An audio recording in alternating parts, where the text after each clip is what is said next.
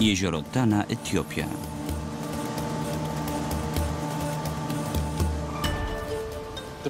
Brytyjski pisarz Graham Hancock udowadnia w swojej książce, że po siedmiu latach w Egipcie arka została przewieziona do Etiopii na tę wyspę.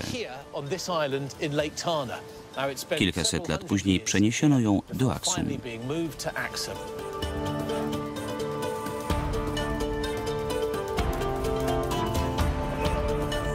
Życie na wyspie Tanakirkos wygląda dziś podobnie, jak przed dwoma tysiącami lat. Mieszka tu około 30 kapłanów. Są całkowicie odcięci od współczesnej cywilizacji. Na wyspie nie ma prądu ani telefonów. Kontakt ze światem zewnętrznym ograniczony jest do minimum. Kiedy jednak wyjaśniłem powody mojej wizyty, księża zgodzili się na spotkanie. Po wyspie oprowadzi mnie najwyższy kapłan Gabriel. Jest tu kilka domów, budynki gospodarcze i zabytkowy kościół.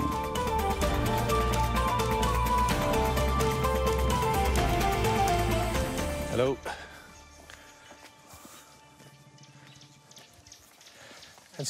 Idziemy do kościoła. To kilka minut drogi stąd. Right, okay. Go.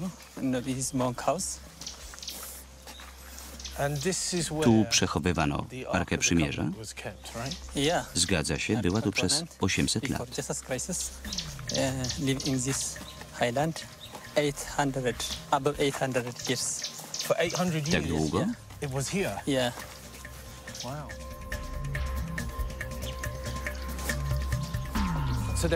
Składano tu ofiary?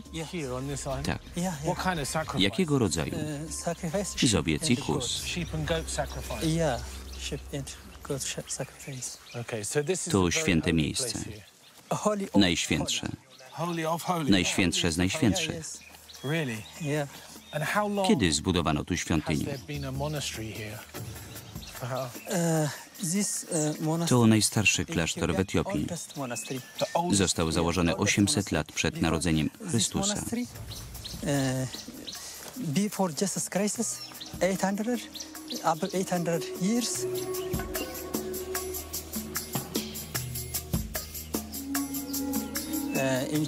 Kosztowałeś już etiopskiego piwa? To Ważycie je tutaj? Zgadza się. Yeah, yeah. What's your beer like? Jak smakuje? Jest nice? Naprawdę? It's very good. Very nice. in alcoholic. Okay. Okay. you must Wesoło have to u some fun was.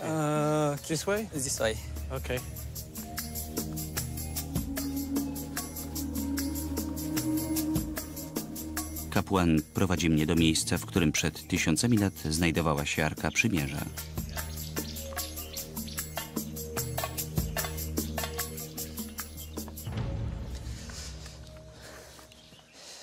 Uh, Mr. Jesteśmy na miejscu. Tutaj Christ, przed naszą erą leżała Arka Przymierza. Ludzie uh, przybywali tu, żeby składać ofiary.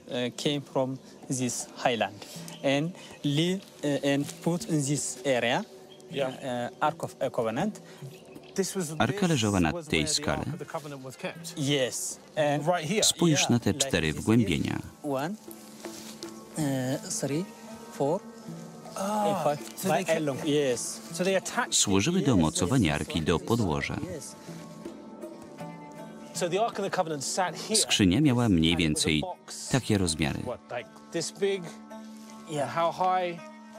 Była dosyć duża. Mocowano ją w tych otworach.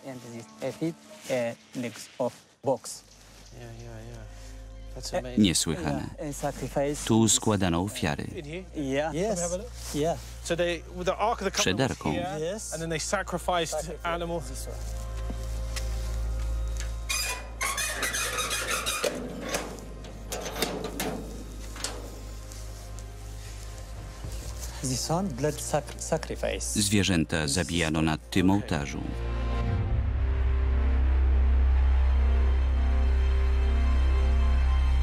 Kapłan pokazuje mi miejsce, w którym wierni składali ofiary z owiec i kus.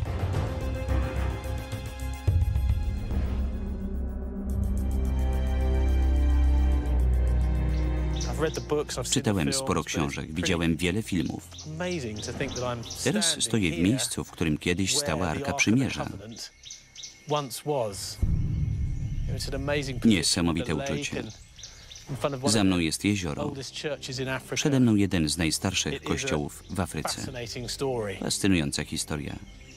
Ale ile w niej prawdy?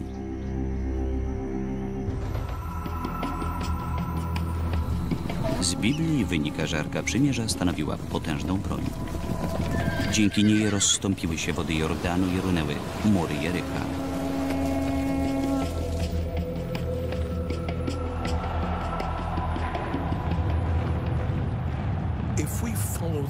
Można dojść do niezwykle ciekawych wniosków, analizując historię Arki Przymierza pod kątem bitew i pewnych zdarzeń, w których brała udział. Arka sprawiła, że rozstąpiły się wody Jordanu. Może jej właściwości wcale nie były magiczne, tylko stanowiły przykład zastosowania niezwykle potężnej baterii. Pozostaje pytanie, skąd w tamtych czasach ludzie zdobyli tak zaawansowaną technologię. Na Bliskim Wschodzie słońce operuje bardzo mocno. Po całym dniu Arka była naładowana energią elektryczną. Jeśli ktoś jej dotknął, mógł kopnąć go prąd. Wstrząs był tak silny, że mógł doprowadzić nawet do zatrzymania akcji serca. So there could be some truth in that story.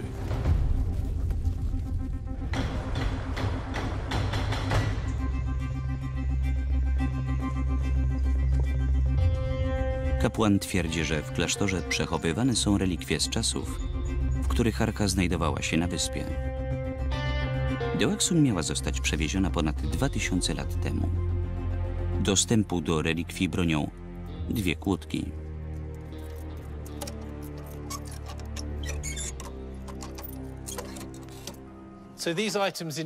Przedmioty zostały przywiezione razem z Arką ponad 2000 lat temu. Zgadza się. The Aegis people.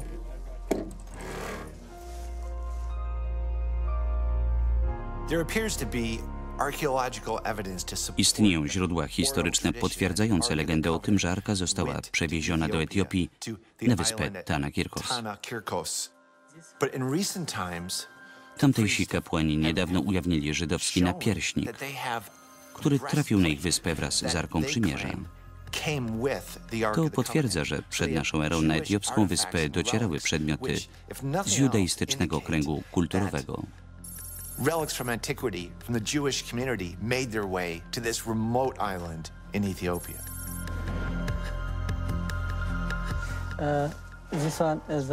To ofiara złożona przez pierwszego kapłana. Fragment jego zbroi. Na pierśnik. Kapłan nosił go podczas ceremonii. Trafił tu razem z Arką Przymierza. Ile lat ma ten napierśnik? Pochodzi z IX wieku przed naszą 800 erą. Years. 800 years BC. BC, yes. Wow. Okay.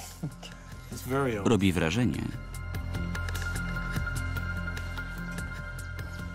And this one uh, plants Taca do składania ofiar. sacrifice. So this dish would have been Naczynie używane during podczas the, ceremonii. during the ceremony. Yeah. Tak. Yeah. So this Taca do zbierania krwi. Zgadza się. Krew była niezbędna do rytuału. Taca zrobiona jest z żelaza. Z brązu. Została przywieziona z Jerozolimy razem z Ark Arką Przymierza. Służyła do składania ofiary krwi. Dlaczego nie zabrano jej do Aksum? here for Axum, why were these items left behind? Uh, there, uh, without, W chrześcijaństwie nie ma potrzeby uh, składania ofiar. Chri- Christianity. Oh, okay. Rozumiem. No Naczynie przestało być potrzebne.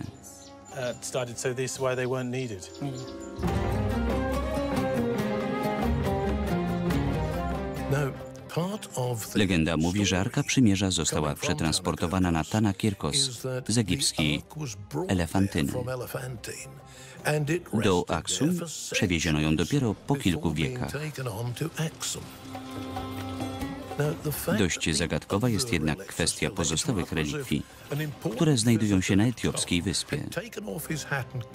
Czyżby jakaś ważna postać zostawiła tam część swojej garderoby?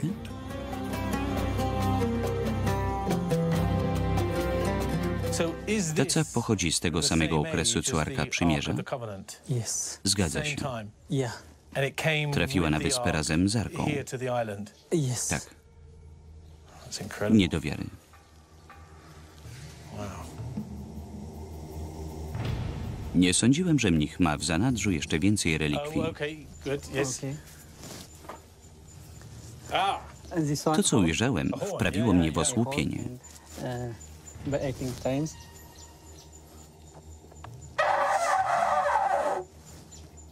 wow. So Instrument denty był używany przez kapłana.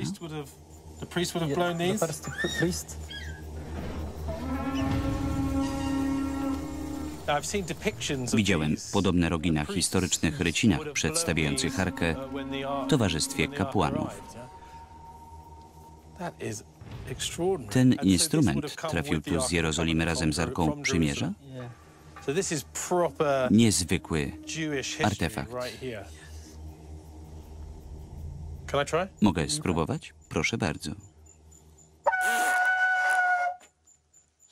Całkiem nieźle.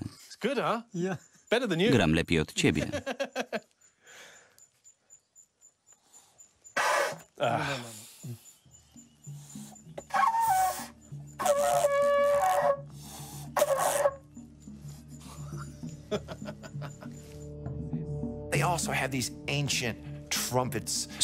Uh, Żydzi that were użyli trąb do zburzenia murów Jericha. Na of Kirkos znajdują się przedmioty, które mogą pochodzić ze świątyni Salomona. Ta teoria jest bardzo prawdopodobna.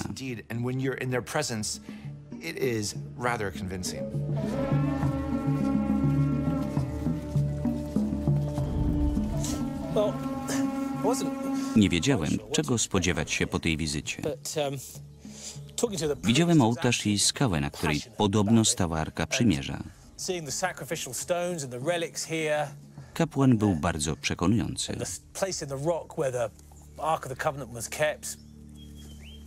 It's not evidence, obviously, but it's a fantastic story.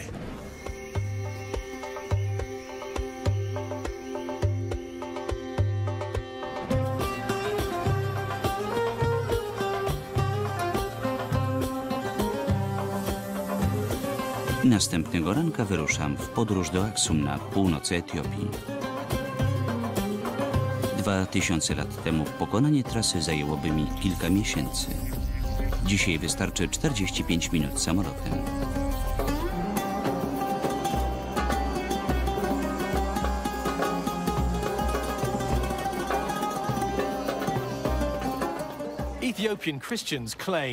Znajduje się przed niewielkim kościołem świętej Marii z Syjonu w Aksum.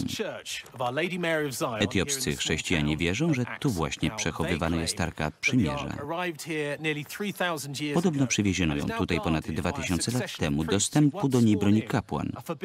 Ma kategoryczny zakaz opuszczania terenu świątyni do końca życia. Intrygujące. Pytanie, ile w tym prawdy? Arka była wykonana z bardzo twardego drewna. Dodatkową ochronę stanowiła złota blacha. Całkiem możliwe, że przetrwała do dzisiejszych czasów. Na pewno zachowały się złote elementy. Etiopczycy twierdzą, że są w posiadaniu Arki Przymierza. Mieli umieścić ją w specjalnie zaprojektowanym kościele. Interesująca teoria. Potwierdzają ją nawet niektóre znaleziska archeologiczne. Niestety nie No mamy wstępu do tego kościoła. Jeśli arka rzeczywiście jest w Etiopii. Znajduje się w Aksum. Strzeże jej mnich, którego misja jest dożywotnia. Nie wolno mu wychodzić z kościoła. Um, Jest jedynym strażnikiem tej niesamowitej relikwii. The sole guardian of that, that amazing relic.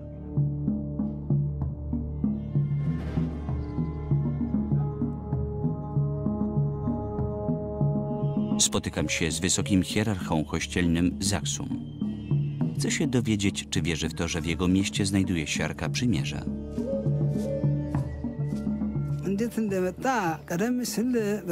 Pierworodny syn króla Salomona Menelik wykradł Arkę Przymierza swojemu ojcu.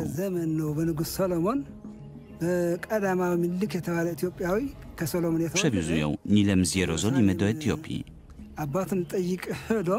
Przez kilka wieków znajdowała się pod ochroną mnichów z klasztoru na wyspie Tanakirkos. Później trafiła do Aksum.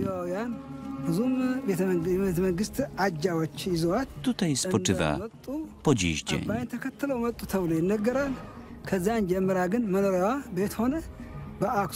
Arka Przymierza jest najświętszą relikwią.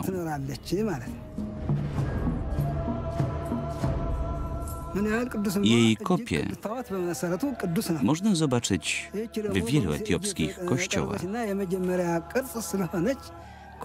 Ta, która znajduje się w Aksum, jest jednak jedyna w swoim rodzaju. Została zrobiona przez Mojżesza według szczegółowych wytycznych, które otrzymał od samego Boga. Eee, ክብር ከሁሉ ይዛ ትገኛለች። ታላቁ ቅርስ ናት፣ ሕይወትም ናት። እግዚአብሔር በእሷ አድሮ ይኖራል ብለን እናምናለን። Arkę może ujrzeć ደስ tylko ምስጋና ten, kto jest ያንን bez grzechu. የማይለያት በልዩ ቦታ ተቀምጣ እንደምታዩት እዛ Dlatego ከኋላ nigdy nie wystawiamy jej na pokaz. ሰው የማይደርስበት ማለት Nikomu nie wolno አንድ ቅዱስ ሰው podnosić የተመረጠ na ሰው nią አጣን wzroku. ካልሆነ በስተቀር እንደዚሁ ለሌላውም እንደው ተግበስሶ የማይገባባት ተከብራ ትኖራለች።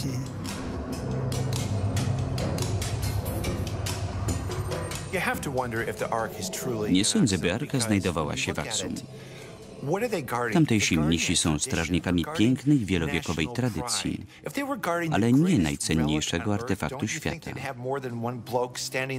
Gdyby mieli Arkę? Kościoła, chroniłaby armia strażników, a nie jeden bezbronny mnich. Prawda jest taka, że każdy może wejść do tej świątyni. Etiopczycy pielęgnują piękną tradycję. a tradition. I don't really think Nie sądzę, by naprawdę wierzyli, że w ich kraju znajduje się Arka Przymierza. In Ethiopia, uh, we are told Etiopczycy that, twierdzą, że Arka Przymierza the- znajduje się w kościele świętej Marii z resides in the Syjonu w church Aksum. of Our Mary of Zion in Aksum, and that Według the tej teorii najświętszej relikwii strzeże mnich, Któremu do końca życia nie wolno opuszczać kościoła.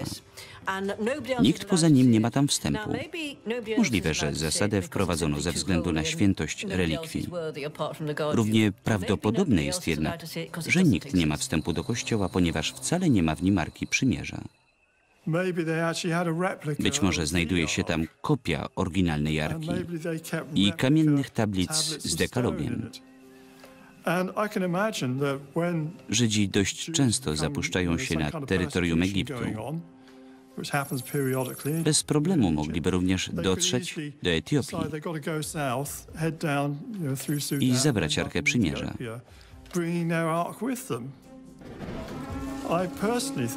Nie sądzę, by w Aksum przechowywano Arkę ark zrobioną przez Mojżesza. Nie twierdzę, że to niemożliwe, ale prawdopodobieństwo jest raczej znikome.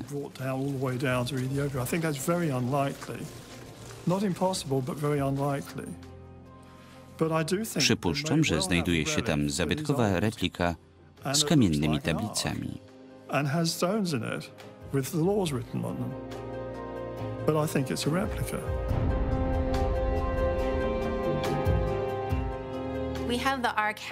Arka podobno znajduje się w specjalnym skarbcu w pustynnym regionie. Kościół, w którym ma być przechowywana, nie wygląda zbyt imponująco. Gdyby ta skrzynia rzeczywiście tam była, z pewnością znajdowałaby się pod lepszą ochroną. Nie wierzę, by Arki Przymierza strzegł jeden bezbronny mnich. Przypuszczam, że w Aksum znajduje się jedynie kopia prawdziwej relikwii. Prawdopodobieństwo, by była to oryginalna Arka Przymierza, jest bliskie zeru.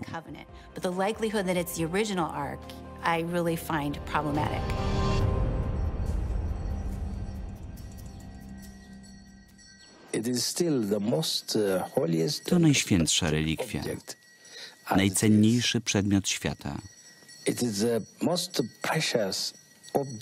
Bóg stworzył Arkę, by komunikować się z ludźmi. The communication of the people between his people and himself. The manifestation of God always occurred around the ark.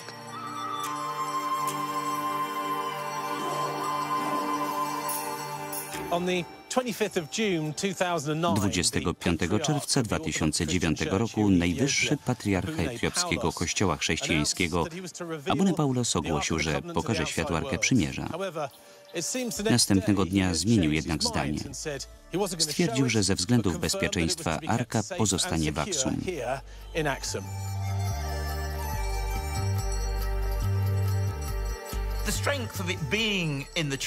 Świątynia w Aksum ma ogromne znaczenie dla etiopskich chrześcijan.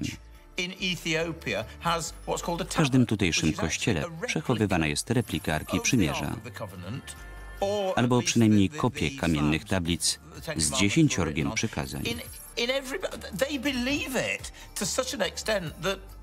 Ci ludzie naprawdę wierzą w tę historię.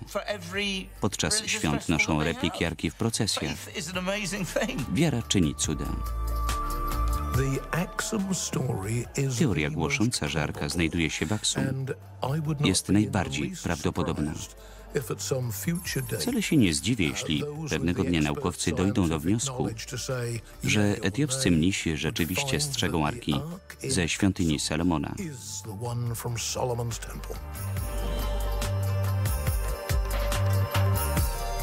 Chcę poznać prawdę na temat Arki znajdującej się w Etiopii.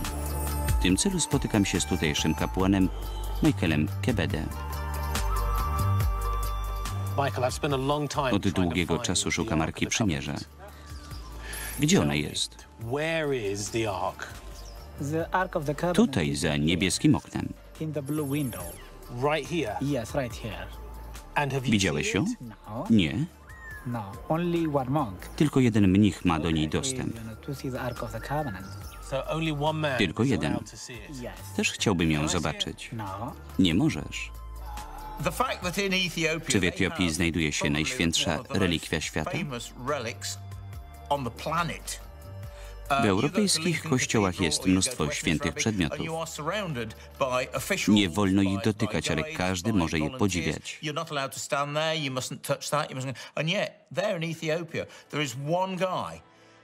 Czy to możliwe, że w etiopskim kościele jeden stary mnich strzeże najświętszej relikwii na ziemi? Nie wydaje mi się. Do you really think so? I'm not so sure. It's a bit like the Grail Keeper. Europejskie legendy mówią o strażniku świętego Grala. Gdy umiera, jego miejsce zajmuje kolejna osoba. Dopóki strzeże świętej relikwii, nie wolno jej opuszczać świątyni. To zaskakujące, że Arki Przymierza pilnuje jeden niepozorny mnich. Przy tak świętej relikwii każdy spodziewałby się zastępów księży i kapłanów. Świątynia w Aksum pozbawiona jest jednak patosu. Można odnieść wrażenie, że nie znajduje się w niej nic cennego. In 2009, Czy to prawda, że w 2009 roku etiopski patriarcha ogłosił, że pokaże Arkę Przymierza całemu światu? No. No. No. Oczywiście, że nie. Całe zamieszanie wynikało z błędu tłumacza.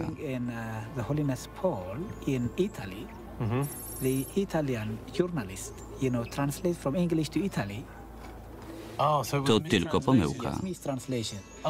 Zgadza się, Arka nigdy nie opuści murów tego kościoła. Twierdzisz, że znajduje się za tą zasłoną. Możemy to w łatwy sposób sprawdzić.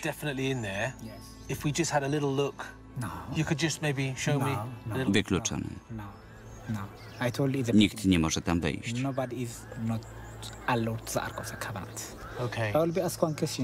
Pozwól, że zadam ci pytanie. Widziałeś kiedyś słońce? Oczywiście, że tak. No, no. No, Mylisz się. Straciłbyś wzrok. see. blind. Arka jest siedem razy potężniejsza. Od słońca. Zgadza się.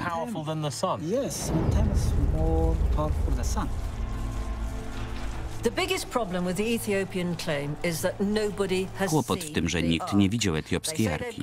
Twierdzą, że ją mają, ale nie potrafią tego udowodnić. Nie ma żadnych zdjęć. Arki nie widzieli nawet Haile Selassie ani Mussolini, chociaż odwiedzali to miejsce. Wszystko wskazuje więc na to, że w Etiopii wcale nie ma Arki Przymierza.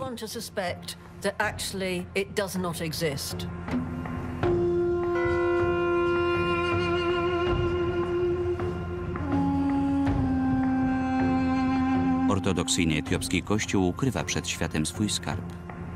Tutejsi księża są jednak przekonani, że Arka Przymierza znajduje się w ich kraju.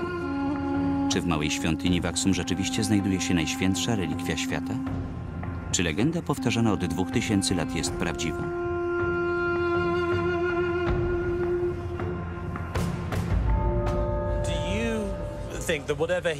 Czy w Aksum przechowywany jest skarb? Bardzo możliwe. Nie wiem jednak, czy to jest Arka Przymierza. W etiopskim kościele wszystko trzymane jest w tajemnicy. Nawet księża nie mają pełnego dostępu do informacji. Możliwe, że Arka jest w Etiopii, ale raczej nie w Aksum. Istnieje wiele teorii dotyczących Arki Przymierza. Jedni twierdzą, że trafiła do Babilonu, inni, że do Rzymu.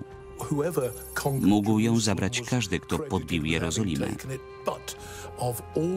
Moim zdaniem najbardziej prawdopodobna jest teza, że Arka znajduje się w Aksum.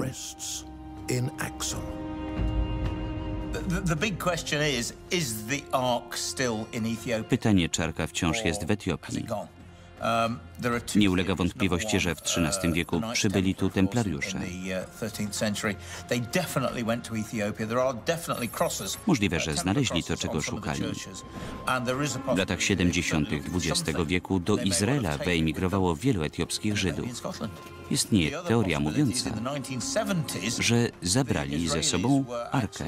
um, uh, a lot of the black Jews, falashas, um, taking them out of the country, and they may well have taken something else with them. As long as it's a mystery, Nikt nie ma dostępu do Arki. Nie można jej zbadać ani sfotografować. Cała historia owiana jest tajemnicą.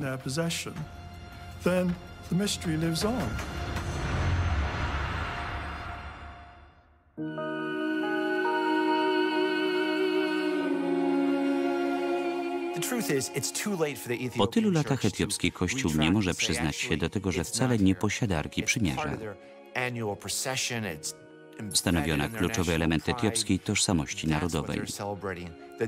Być może Arka kiedyś znajdowała się w tym kraju. Dziś jest to tylko "Actually, tradycja.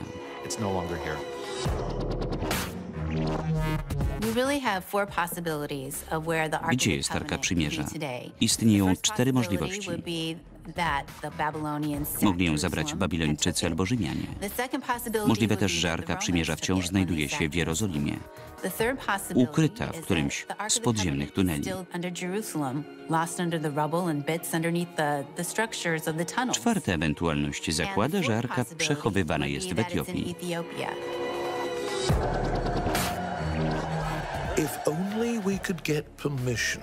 Gdybyśmy tylko mieli możliwość zbadania etiopskiej Arki przy użyciu nowoczesnych narzędzi, Moglibyśmy ustalić wiek i pochodzenie tej tajemniczej skrzyni.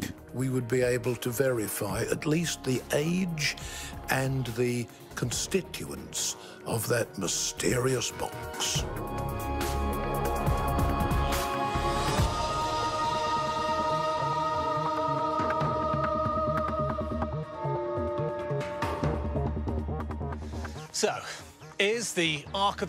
Czy Arka Przymierza rzeczywiście znajduje się w Etiopii?